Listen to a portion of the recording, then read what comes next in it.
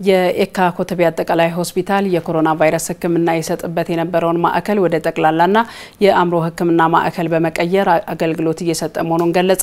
የኤካ ኮተቤ አጠቃላይ ሆስፒታል የኮሮና ቫይረስ ወረርሽኝ በተከሰተበት የመጀመሪያ ወቅት አገልግሎት በመስጠት የጀመረ ሲሆን የኮሮና ቫይረስ ወረርሽኝን በመከላከል ውስጥም ትልቅ አስተዋጽኦ ካበረከቱት ውስጥ ነው። አሁንም ሆስፒታሉ እየሰጠ ባለው የሕክምና አገልግሎት በርካቶችን ተደራሽ እያደረገ ይገኛል። ባልደረባችን ሜሮን ሙልጌታ ደግሞ ሆስፒታሉ የቀድሞ የኮቪድ ህክምና ማዕከል ቅኝት እያደረገች ናት የምትገኘው። ያደረገችውን ቅኝት ደግሞ ልታደርሰን በቀጥታ መስመራችን ላይ ትገኛለች። ሜሮን፣ ባደረግሽው ምልከታ የሚሰጠው አገልግሎት ምን ይመስላል? አሁን በአዲስ የጀመረው አገልግሎት ምን ደረጃ ላይ ይገኛል የሚለውን ብታደርሽን። እሺ አመሰግናለሁ አዳነች። እንዴት ዋላችሁ ተመልካቾቻችን? አዳነች ቀደም ሲል እንደገለጽሽው በኤካ ኮተቤ አጠቃላይ ሆስፒታል ነው የምንገኘው። እንግዲህ የኤካ ኮተቤ አጠቃላይ ሆስፒታል ስም ሲነሳ አብዛኞቻችን ቀድሞ ወደ ጭንቅላታችን የሚመጣው የኮቪድ ወረርሽኝ ሕክምና ማዕከል ነው። እንግዲህ በኮቪድ ወረርሽኝ ሕክምና በመጀመሪያ ደረጃ ኢትዮጵያ ውስጥ የኮቪድ ወረርሽኝ ሲከሰት ይሄ ሆስፒታል ወደ ኮቪድ ማዕከልነት በመቀየር ሕክምናውን የኮቪድ ወረርሽኝ ሕክምናን በሰፊ ሲሰጥ ነበረ። ከዛ በፊት ግን እንግዲህ ሆስፒታሉ ከተመሰረተበት ከ2009 ወረርሽኙ እስካጋጠመበት እስከ 2012 ድረስ በአማኑኤል የአእምሮ ሕክምና ሆስፒታል ስር በመሆን የአእምሮ ሕክምና አገልግሎትን ሲሰጥ ቆይቶ ነበረ እንግዲህ በኮቪድ ወረርሽኝ አገልግሎቱም 7200 የሚሆኑ ሰዎች የኮቪድ ወረርሽኝ የኮቪድ ሕክምና እንዲያገኙ ማድረግ ተችሏል ማለት ነው በቀደመው ጊዜ። አሁን ደግሞ ሆስፒታሉ እንግዲህ የኮቪድ ሕክምና አገልግሎቱን ሙሉ በሙሉ በማቆም ወደ ጠቅላላና ወደ አእምሮ ሕክምና አገልግሎቱን ማዛወር ተችሏል። ቀደም ሲል እንደገለጽ ነው ግን በቀደመው ጊዜ በርካቶች እንግዲህ የተሻለ የኮቪድ ሕክምናን እንዲያገኙ ማስቻል ተችሏል።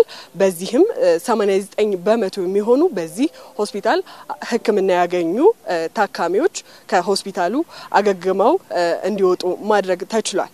በተለይም ደግሞ እንግዲህ የኤካ ኮተቤ የኮቪድ ማዕከል ለየት ያደርገው የነበረው በሰፊ የጽኑ ህሙማን ሕክምና ማዕከሉ እንዲሁም ደግሞ እንዲሁ የኮቪድ ወረርሽኝ ያጋጠማቸው ሰዎች የተለያየ የቀዶ ሕክምና አገልግሎት እንዲያገኙ ማድረጉ ነው ማለት ነው።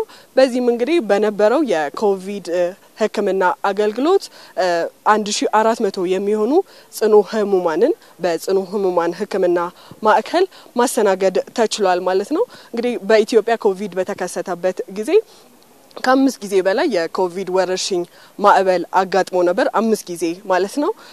በዚህም በተለይም ደግሞ በአራተኛው የወረርሽኝ ማዕበል ባጋጠመበት ጊዜ ሆስፒታሉ አገልግሎቱን ወደ ሌላ የህክምና አገልግሎት ለመቀየር እየተዘጋጀ ባለበት ጊዜ ነበር። እንዲሁም ደግሞ የአምስተኛውም ዙር ባጋጠመበት ጊዜ እንዲሁ በተመሳሳይ እና ይሄ ትንሽ አዳጋጅ አድርጎት ነበረ ማለት ነው። በአጠቃላይ ግን የኤካ ኮተቤ ሆስፒታል ማለት ነው ወደ ሁለት ዓመት ከስድስት ወር ገደማ የኮቪድ ህክምናን መስጠት ችሏል ማለት ነው።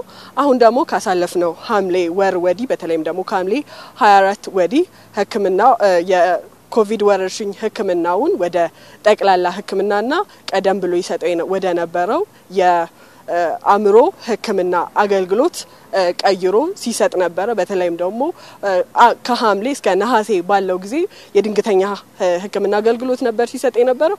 አሁን ደግሞ ባለፉትን ሁለት ወራት እንግዲህ የስነ አእምሮ ህክምናና የጠቅላላ ህክምና አገልግሎት እየሰጠ ነው የሚገኘው ማለት ነው። በተለይም ደግሞ የስነ አእምሮ ህክምናው ላይ ትኩረት በመስጠትና ቀደም ሲል እንደነገርኳችሁ በአማኑኤል ሆስፒታል ስር ነበር አገልግሎቱን ይሰጥ የነበረው። አሁን ግን ሙሉ በሙሉ በራሱ የስነ አእምሮ ህክምና አገልግሎቱን እየሰጠ ነው የሚገኘው። በዚህም እንግዲህ በሆስፒታሉ ካሉ 354 አልጋዎች ውስጥ ግማሹን ለስነ አእምሮ ህክምና፣ ግማሹን ደግሞ ለሌሎች የጠቅላላ ህክምና አገልግሎቶች በማድረግ ህክምና አገልግሎቱን እየሰጠ ነው የሚገኘው። እንግዲህ የኤካ ኮተቤ ጠቅላላ ሆስፒታል በተለይም ደግሞ የስነ አእምሮ ሕክምና አገልግሎቱን ትኩረት በመስጠት ተገልጋዮች የተሻለ ሕክምና እንዲያገኙ ጥረት እያደረገ ነው የሚገኘው። እኛም በቅኝታችን የታዘብነው ይሄንን ነው። የቀድሞ የኮቪድ ሕክምና ማዕከሉን ለዚሁ አገልግሎት በማዘዋወር ንጹህ፣ ጽዱ የሆነና እንግዲህ ለታካሚዎች ጥሩ የሆነ ገጽታን መፍጠር በሚያስችል መልኩ እየሰጠ ነው የሚገኘው ማለት ነው።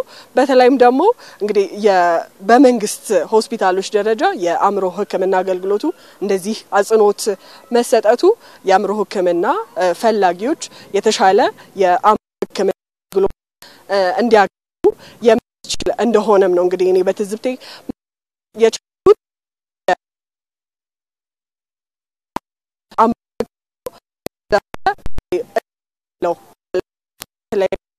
አእምሮ ህክምና ትምህርት እንዲሰጥ በማድረግ ባለሙያዎችን የማፍራት እንዲሁም ደግሞ ህክምናው ፈላጊዎችም እንግዲህ የተሻለ አገልግሎት እንዲያገኙና ተደራሽ ለማድረግ እቅድ እንዳላቸውም ሰምቻለሁ ማለት ነው። አዳነች፣ በቅኝቴ የተመለከትኩት የታዘብኩት ይህንን ይመስላል።